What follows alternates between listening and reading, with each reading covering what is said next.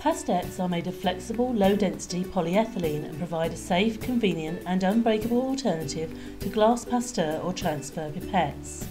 Pastettes have a soft, responsive bulb, making control of liquid aspiration and dispensing quick and easy. They are available non-sterile and sterile.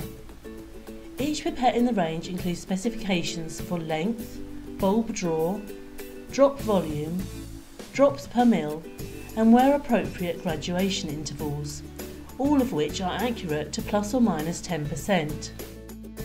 The range has developed over many years in response to user needs, expanding the variety of shapes and sizes to suit various applications.